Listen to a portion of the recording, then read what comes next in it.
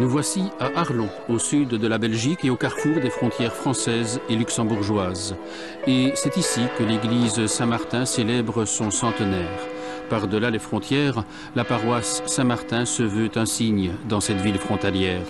Voici un siècle en effet, le roi Léopold II voulut construire deux églises qui, aux extrémités du pays, soit à Ostende et à Arlon, seraient à la fois phare et sentinelle de la Belgique. Après de nombreuses discussions, la construction de l'église débuta en 1907 pour se terminer en 1914. Monument prestigieux, destiné à impressionner le visiteur, le nouvel édifice devait aussi et surtout être pleinement de sa région, par la pierre de ses murs, les symboles de sa décoration et les saints de ses portails.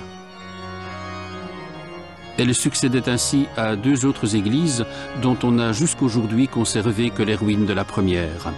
À l'intérieur de l'église, le vitrail de l'Eucharistie vient redire l'invitation du Christ adressée à chaque paroissien.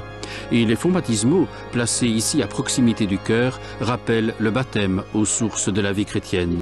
Un siècle après sa construction, l'église Saint-Martin ressemble à un vaisseau aérien jeté dans le vent, selon l'expression d'un auteur local.